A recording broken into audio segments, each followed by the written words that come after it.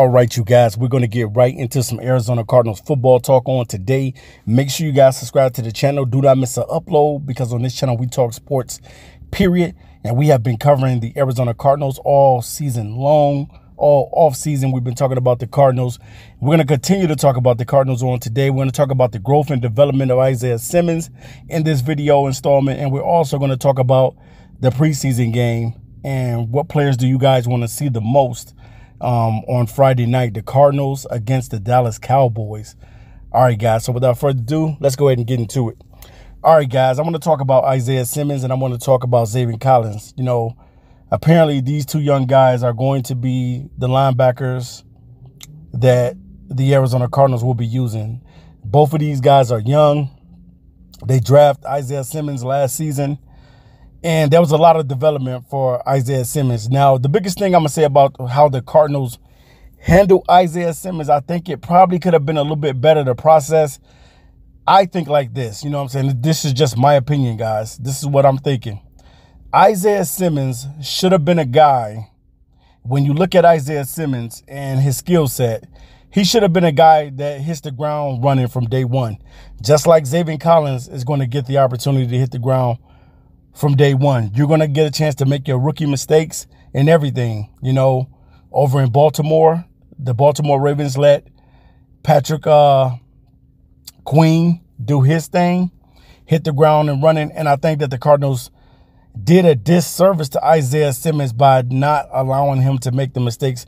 Yeah, I know you had the uh, veteran leadership over there with uh, De'Vondre Campbell, and he played well. De'Vondre Campbell, when he was on the team, he played well. I, I won't take anything away from him.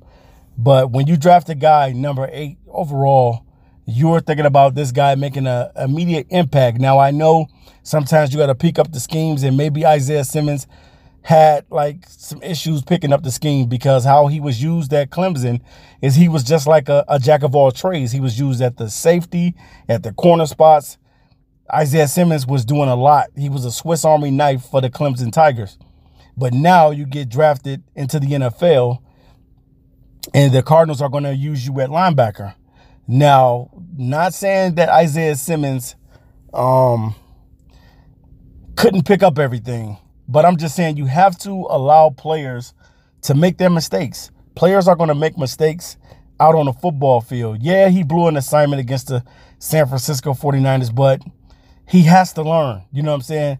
You got to understand that you got to pick up the back out of the backfield. You know, and he probably didn't understand who he had on that play, on that particular play. And he tried to give it his all by trying to chase the guy down, but it was too late. Um, Raheem Mostert ended up scoring a touchdown off a catch and run. And I think Isaiah Simmons learned a lot from that. But they was giving him limited amount of snaps and things of that nature. What I when I just think that the way you build up a player's confidence is you let them play. You let them hit the ground running. If you're going to give that same uh, opportunity to Zaven Collins this season, you should have gave it to Isaiah Simmons last season. Now, Isaiah Simmons, after he had an epiphany after he played in that Seattle game and he finally got an interception and made a big play. And after that point, Isaiah Simmons started to play really, really well for the Cardinals on defense. He started understanding how he's supposed to play, what he's supposed to do out there, things of that nature. Now, with Zaven Collins, Zaven is going to hit the ground running from day one. They've already communicated to the veteran Jordan Hicks that he will not even get an opportunity to compete for the linebacker spot.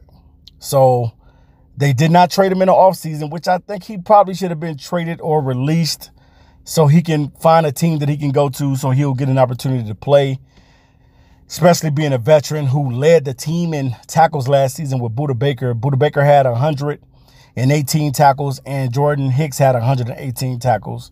Now, maybe if Budda Baker doesn't miss uh, that one game, he probably ends up leading the team in tackles. But both of those guys had 118 tackles, and now Jordan Hicks will now be backing up one, Mr. Zaven Collins, who you drafted number uh, 16 overall in the 2021 NFL draft. Now, the thing with Zaven Collins is very smart guy, very good guy. And definitely he got his nose a little wet when he came to Arizona And uh, he ended up getting arrested for, you know, driving a little fast. So I think he probably learned his lesson from that. You can't be around here doing 76 uh, miles an hour in a 35, bro. Can't be doing that. But at the same time, I think that Zaven Collins is a stud at linebacker. He was one of my favorite linebackers that I saw in this draft class. And the talent is there, and dude can be a monster. Now, it looks like Zaven Collins is going to be the guy from day one calling the plays. And when you're asking this from a rookie, I don't know how well Zaven Collins is going to do, but he's one of the guys that I want to see the most uh, because you're handing the keys to him. You're actually literally taking the keys from his big brother, Jordan Hicks, and you're giving it to him and saying, hey, man, go ahead and take the car. It's your time. So I want to see what Jordan Hicks is going to bring to the table. What type of player is, uh, I mean, not Jordan Hicks, excuse me about that, guys. Zaven Collins. I want to see what type of player Zaven Collins is going to be in year one because the growth and development of Isaiah Simmons is going to be pivotal going forth for the Arizona Cardinals. Now, everybody knows that both of these guys can cover well. They're very athletic. Xavier Collins is a big dude. You're talking about 6'5", 260 pounds. A big dude. And both of these guys are good in coverage, but the biggest thing about football is that you have to have the IQ when you get out on the field. It's not about just being talented and being able to have all these different measurables and stuff like that. What really matters is what you bring to the table when you get out on the field. Are you a smart enough player to know what player you're supposed to be picking up? Do you get the tight end on this? Uh, do you rush the quarterback? Do you go in for the? Uh, do you go in for the? Uh, the the receiver. What do you do? You know, what do you do in this moment? So definitely, I think that Zaven Collins is is able to do it. I think that he's a smart player, but you're asking him and Isaiah Simmons to get this thing done. You drafted these guys, both guys, uh, back-to-back season drafting linebackers in the first round. So that lets you know that the Arizona Cardinals is trying to build this defense. And also, you want to also make Chandler Jones happy as well. You got to extend Chandler Jones unless you plan on allowing him to walk at the end of the season. But definitely, man, Chandler Jones is the heart and soul of this defense, and you know what he brings to the table. But back to what we're talking about, we don't want to go down a, a rabbit hole. Zaven Collins and Isaiah Simmons must be the real deal. Coming into this season, both guys have to be the real deal. Both of these guys have to play exceptionally well. They got to pick up the playbook and hit the ground running because the keys have been given to both of these young linebackers to take over and to be the real deal out on the field. Now, when it comes to the Arizona Cardinals playing the Dallas Cowboys this Friday, players that I want to see the most is Zaven Collins. I want to see Isaiah Simmons as well see how he's going to mesh with uh, Zaven Collins. I want to see Rondale Moore. I want to see AJ Green if they allow him to get any time out on the field, any snaps or anything like that.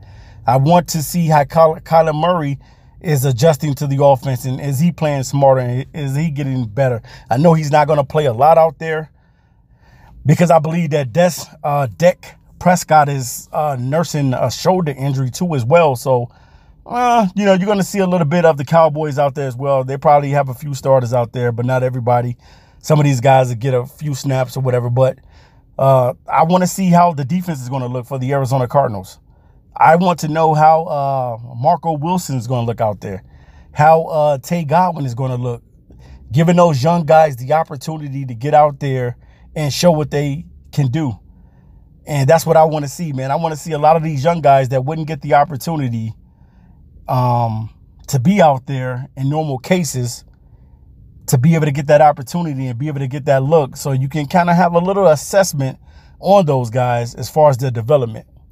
But I can't wait to see the game on Friday night. Make sure you guys subscribe to Noble Sports Entertainment. And as always, we're going to continue covering the Arizona Cardinals. I'm out of here. Peace.